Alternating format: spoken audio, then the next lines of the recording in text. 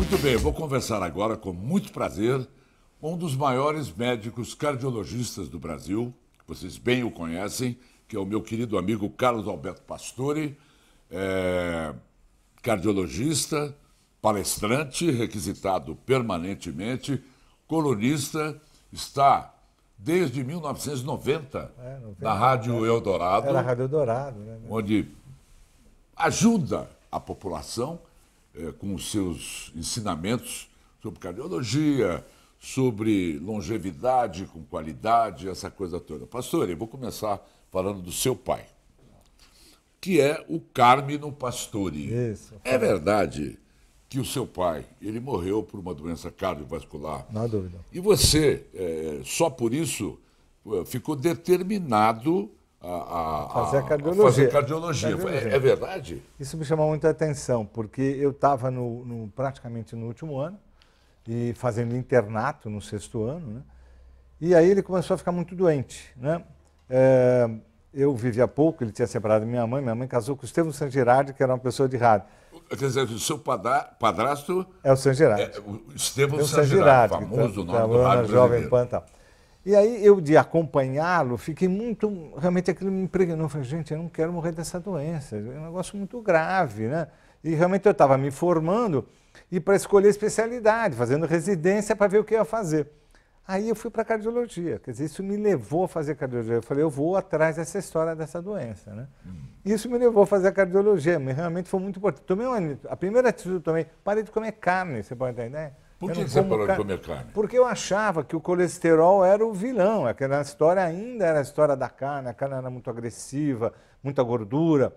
Você vai ver como mudou para hoje. É interessante isso aí. E eu parei de comer carne. E depois, quando eu percebi que o meu colesterol nem baixou, eu continuei não comendo. Então, eu não como carne há 40 anos. Agora, afinal de contas, você me deu uma, uma deixa, né? Claro. O colesterol, ele não é mais vilão?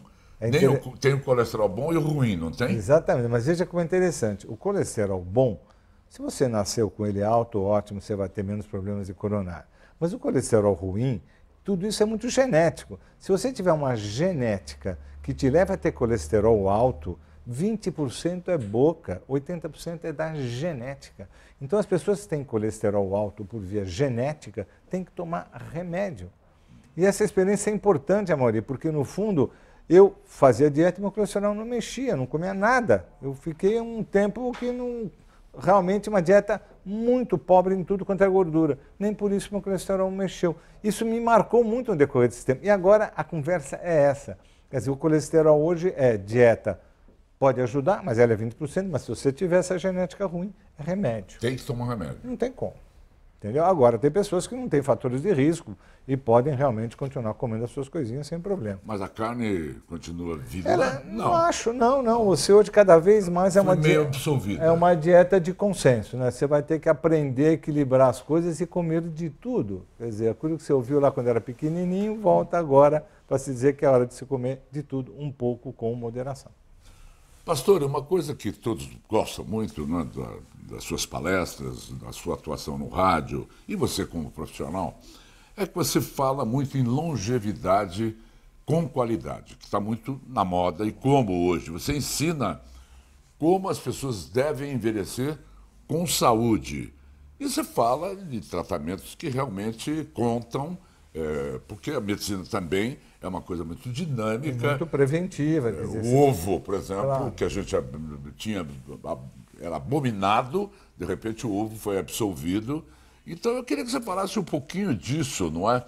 De doenças degenerativas. Doenças Qual é a maior incidência no Brasil? Nós vamos morrer do coração nas próximas décadas, não tem jeito, pelo menos durante os 20, 30 anos que nós vamos ter pela frente.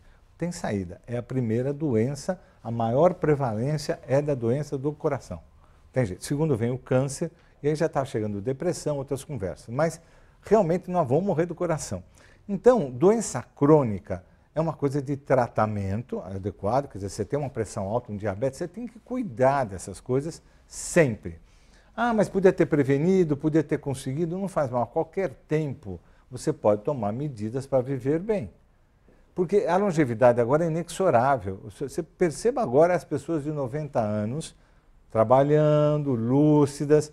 A expectativa é que as pessoas que estão nascendo agora vivam até 110, 120 anos. E a maior população que cresceu no país foi acima de 100. Quer dizer, nós vamos encontrar pessoas longevas aí, muitos. E como é que você trabalha com essa coisa da longevidade, com a doença crônica? É tratamento, é cuidado, é comer bem, é fazer exercício, é dormir bem. Né? Sono virou hoje uma coisa sensacional. O sono é uma coisa a gente não que sabia, as pessoas não prestam muita atenção. Não presta atenção. Dormir bem hoje te faz viver mais. Dormir bem hoje te baixa a pressão arterial. Né? Fundamental. Dormir bem te faz comer menos no dia seguinte. Quanto menos você dorme, se você dorme muito mal, você come 30% no dia seguinte, a mais. Né? E eles estão vendo que as pessoas que dormem muito bem eh, realmente vivem mais.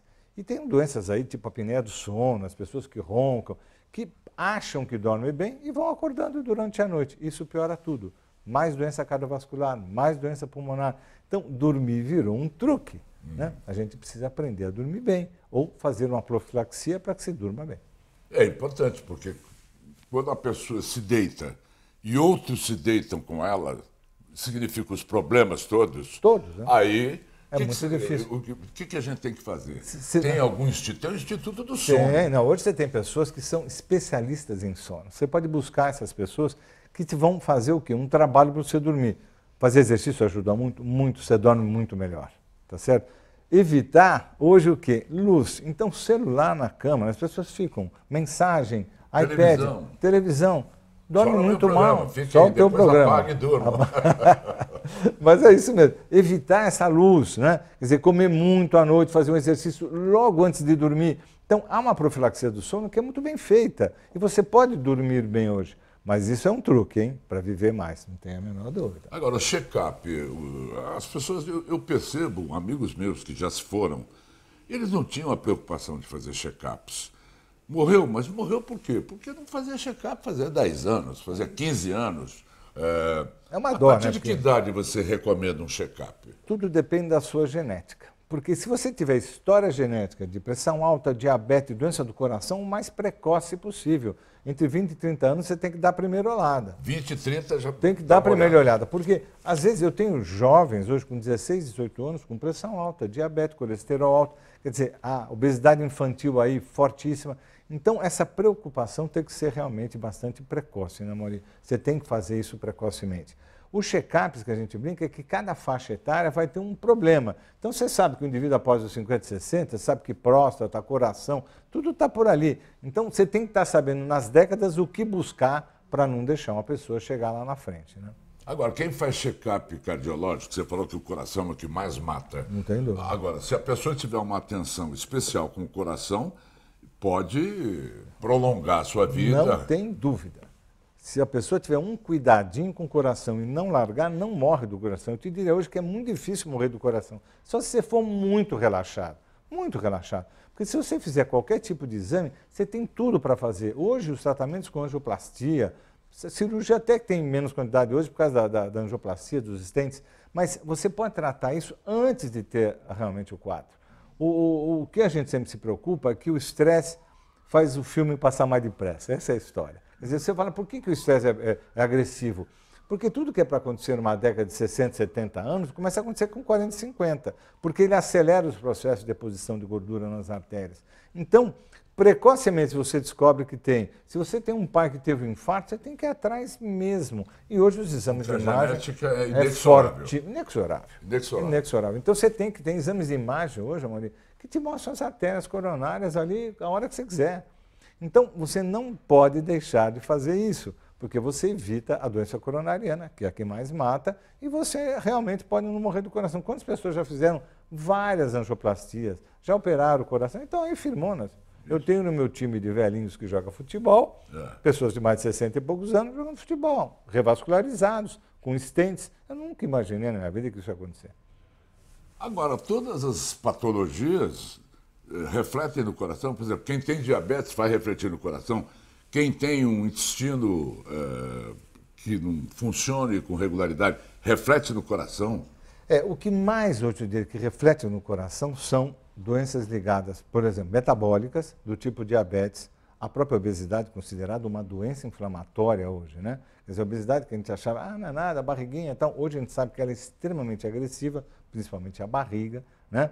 Onde tem um depósito de gordura que é muito agressivo. Então, pressão alta é outra coisa extremamente importante. Essas doenças realmente vão para cima do coração com muita agressividade. Até um ácido úrico alto, por exemplo, uma doença, ah, é só da gota. A gente já sabe que o ácido úrico alto é altamente inflamatório e vai piorar suas artérias.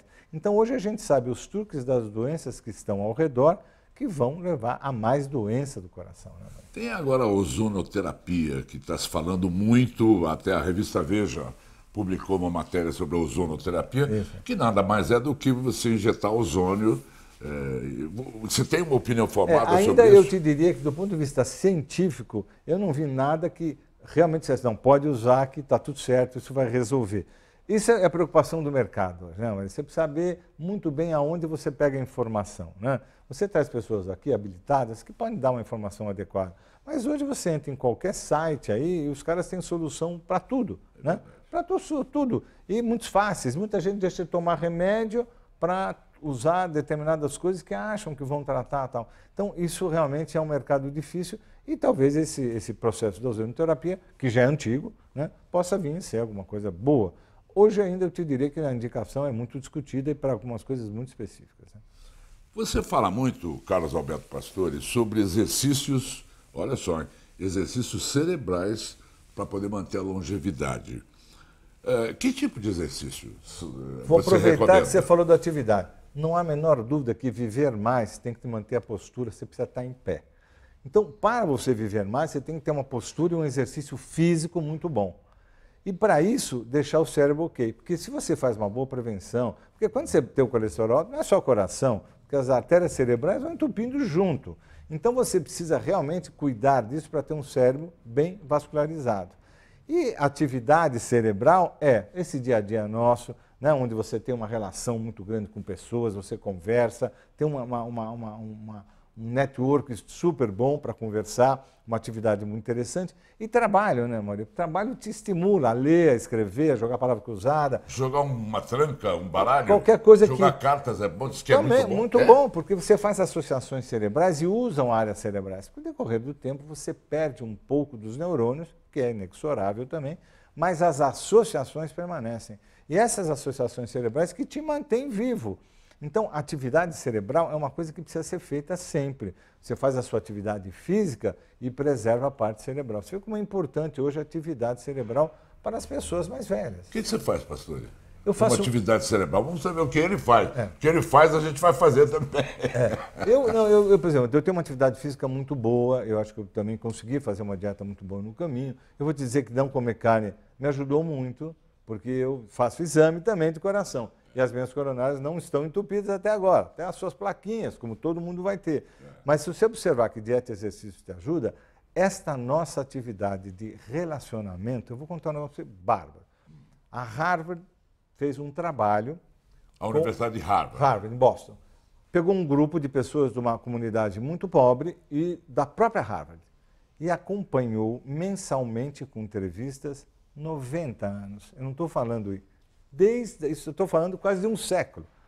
Acompanhou e chegou no final, né, agora está tendo resultados, e perguntou para as pessoas, o que, que mais te ajudou na vida? Não foi a dieta, não foi, foi nada, foi relacionamento. As pessoas dizem, depois de tantos anos, que o mais ajudou as pessoas na vida foram os relacionamentos. Quer dizer, a nossa vida é de relacionamento. Uma boa conversa. É um bom papo, a empatia que a gente diz, você estar tá bem com as pessoas, conversar, saber das pessoas, viver os problemas das pessoas. Quer dizer, hoje a empatia é um fenômeno muito importante e que vem dos relacionamentos. Quer dizer, então, eu, esse trabalho foi bárbaro para te dizer, olha, tudo precisa ser feito, mas o relacionamento é fundamental. Os mal casados vivem menos que os bem casados? Não tem dúvida. O que você está falando é uma realidade. Você precisa ter um parceiro. Pouco importa quem é a pessoa, alguém que esteja com você. Os seus grupos de relacionamento fundamentais. Por isso que as mídias sociais são fortes em algumas coisas. Porque ajudam as pessoas de idade a trocar, olhar uma foto, ver a família. Quer dizer, esse relacionamento é muito interessante. Né? A população de idosos acima dos 80 anos eu estou vendo aqui na minha ficha, claro. aumentou consideravelmente, principalmente nessa última década. É? Segundo uma estimativa do IBGE, o Brasil terá mais de 19 milhões de pessoas com mais de 80 anos, que é um crescimento de mais de 27 vezes em relação a 1980. Isso quando? Em 2060? É isso o cálculo? É, é... Bom, eu sei que, que tem gente acima dos 80 muito ativa. Muito ativa. Às vezes melhor que a gente. Sem dúvida. Muita gente idosa. O que a gente está percebendo que qual a preocupação com a idade? Primeira preocupação com a idade hoje, eh, a maioria, são as demências.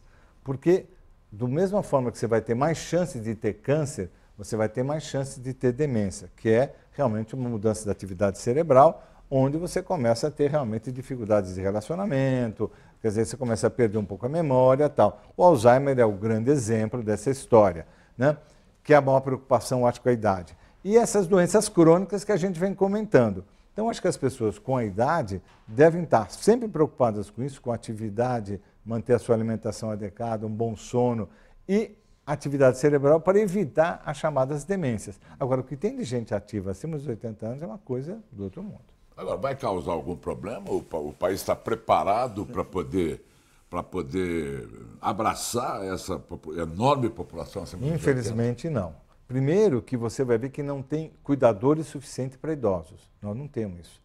Aí fora do país, você tem grandes hospitais para paliativos, que a gente chama, né? para cuidados paliativos, para cuidar de doença crônica, pessoas acamadas. Aqui nós não temos ainda esse, esse aparato para as pessoas que vão realmente. E adaptações para os idosos, né?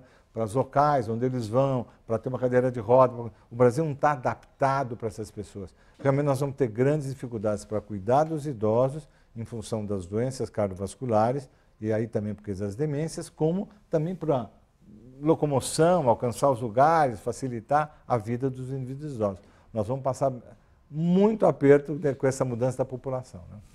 Pastor, desculpe, eu vou fazer uma coisa meio de almanaque, mas é, e na televisão as pessoas querem saber, não é? As, é, eu queria saber é, quais são as coisas boas. Por exemplo, o azeite tem a fama de ser um, um remédio até de tão bom que ele faz para a saúde. Me fale um pouquinho desse é, então, universo. Você veja que esse universo, depois de porque se você entrar hoje na internet, tem dieta de tudo quanto é jeito. Então eu sempre oriento as pessoas. Não tenta dieta da melancia, dieta do mamão, vamos comer um mês melão. Quer dizer, umas coisas absurdas que está claro hoje que dieta é balancear as suas coisas, proteínas, gorduras, carboidratos. Esse balanço, qualquer nutricionista te senta na frente e te põe para comer. Só que se você olhar no decorrer do tempo, o que sobrou de dieta? A dieta que mais as pessoas viveram hoje são as dietas mediterrâneas, que vieram do Mediterrâneo. Onde está o que você falou? O azeite, né? Onde estão as frutas e, e, legumes muito frescos. Né? A gente sabe que porções de, de verdura e frutas te levam a viver mais, então isso é muito importante. Peixe, quer dizer, realmente os peixes, do modo geral, como eles são menos agressivos que a carne, do modo geral. Então, é, nessa região, quer dizer, não sei se no Brasil a gente consegue. E a bebida, que eu tomo muito cuidado. Eu não falo para ninguém usar a bebida como remédio. Difícil, né? Você fala, olha, one shot, dois dedinhos é ótimo, o cara vinho. toma. De vinho. O cara toma um litro. Então, porque a bebida, é, de, um ponto, de um ponto de vista geral, ela tem algumas coisas boas. O vinho tem, tem, realmente alguns, algumas coisas que podem te ajudar até no bom colesterol, como dizem, algumas substâncias que atuam até na, na parede dos vasos, é muito bom. Mas é a quantidade. Entendi. Não tem como, porque a quantidade pode fazer o quê? Te subir a pressão, te subir um triglicérides, piorar teu ácido úrico. Então você precisa saber os seus fatores de risco para ver se o álcool pode te ajudar. Porque às vezes não ajuda nada e te dá arritmia. Quer dizer, o álcool não é assim tão bonito como parece. Né? Tem muita coisa que é modismo. Não é? A internet não, não, não precisa ser vista com, com muito rigor, porque muito. tem coisas ali que. Doutor Google. Doutor Google. Google oh, né? Doutor Google. Doutor Google. Vamos Porque consultar o doutor Google. Você vai no Hoje a pessoa chega no meu consultório é. já com a doença na mão. Doutor, eu vi que isso aqui está alto, isso aqui está alto, eu tenho isso, eu tenho aquilo. Quer dizer, ele não sabe. E outro, todo mundo pega o exame e olha. Ninguém chega no médico. Quando você recebe hoje o médico e recebe um envelope fechado, nunca. Eu recebo tudo aberto, já olharam, já viram o valor, doutor, o que é isso, que é aquilo. Então, a internet dá essa oportunidade de eu ficar checando um monte de coisa. Infelizmente, tem a internet do bem e a do mal. Né? Então, a internet do bem são as grandes sociedades, o grande instituto. O Incor hoje, esse ano, está fazendo 40 anos, está lançando um site só de científico para trazer informações para os médicos. Quer dizer, nós precisamos ter gente né, de qualidade para isso, né, Maria? Porque, no fundo, a internet do mal não é fácil, porque você acha o que você quiser. O que você quiser. Se você quiser, olha, coisa boa para tratar colesterol. Os caras têm todos os remédios. Ou até um que fala que o colesterol não existe, foi invenção da mídia. Né? Você ouve de tudo hoje. Então, realmente precisa tomar muito cuidado. Eu tomaria muito para qualquer atitude com relação a tratamentos. Né? Que nem bula de remédio. A gente não lê bula de remédio, eu não tomo remédio. Não deve, porque a hora que você lê a bula do remédio, você não toma nada, porque ele tem contraindicações de cima a baixo e você não sabe ver o percentual do que é bom e do que é ruim. Né? O pastor, a atuação da Anvisa no Brasil é uma atuação correta? Como é que você vê a é. Anvisa e as proibições, a Anvisa e as suas eh, fiscalizações? Eu acho que ele ainda é um pouquinho, ela não está com a desenvoltura que precisaria ter. A rapidez, então, é uma loucura. Você passa muito, anos, às vezes, para conseguir uma coisa e outra. Então, eu acho que a Anvisa ainda peca pelo tempo, né, pela avaliação. Eu acho que esses movimentos de avaliação ainda não são tão bons como as, como as grandes aí fora no outro mundo, nos Estados Unidos, FDA, na Europa. Eles são mais rápidos, mais atentos. Eu não estou dizendo que a Anvisa é ruim, mas eu diria que ela deveria ser mais ainda criteriosa e cuidadosa, quer dizer, fazer um investimento para poder deixar passar algumas coisas e não. Porque tem muito lobby. Então fazem um lobby de medicação. É, teve uma medicação agora para o câncer que foi um absurdo. Quer dizer, eu, eu, eu sei porque o, o, pessoal do Estudo do Câncer estudou. Não faz, serve para nada. E houve um, não serve para nada. Não, e serve uma pressão política para fazer isso e fazer um monte de dinheiro gasto para ver se a medicação funciona ou não, quando todo mundo já sabia que aquilo não tinha uma indicação. Então, tem coisas realmente hoje que ainda faltou, falta ainda uma, uma, uma acho que uma, uma expertise, uma experiência maior para você poder controlar drogas no país. Pastor, muito obrigado. Imagina, um prazer. Tem alguma outra informação dentro da do seu universo, não é? da cardiologia que eu possa ter escorregado aqui e que você acha relevante o público ficar sabendo? Eu acho que as pessoas têm que conscientizar que é, coração dá para tratar, que as pessoas não precisam se preocupar, o, o diagnóstico é excelente e o tratamento ainda melhor. Então, eu acho que se a pessoa procurar uma prevenção, procurar um especialista, um cardiologista, com certeza ela consegue detectar, não tem problema de achar a doença, porque tem como tratar. Né? Hoje, antigamente, os idosos falavam, ah, não, não vai procurar, porque você vai achar. Quer dizer, Entendi. essa coisa é, tem que achar, porque hoje a gente trata tudo praticamente. Né? Então Infortunadamente, então, a gente tem o problema do sistema público de saúde, que claro, é uma porcaria no Brasil, exatamente. continua sendo, eu sei que tem muita gente não, interessada em melhorar, mas é, essas coisas todas também é, só tem acesso quem tem uma, uma, uma possibilidade. Eu diria, eu vivo num, num, num, local, né, quer dizer, que é uma ilha de excelência nesse país, que é o INCOR. Então, o INCOR. Um lugar que tem tudo para o SUS. Quer dizer, hoje nós temos toda a tecnologia que o SUS precisa de tudo. Claro que você vai procurar isso em outros hospitais, mas nós somos uma ilha dentro do país. Por isso a gente recebe gente do país inteiro mas eu diria que alguns lugares ainda podem fazer uma boa medicina para o SUS, né? Alguns lugares ainda fazem. Mas o que você falou é verdade, não é para todos, não dá para ter essa, esse acesso que seria universal. Carlos Alberto Pastore para Ministro da Saúde. Obrigado, Pastore. obrigado, obrigado, querido. Muito obrigado. Parabéns pelo seu trabalho, Muito obrigado, pelo seu extremo profissionalismo e pelo respeito que você tem em toda a classe médica brasileira. Muito obrigado pelo convite. Carlos Alberto Pastore, especial para vocês.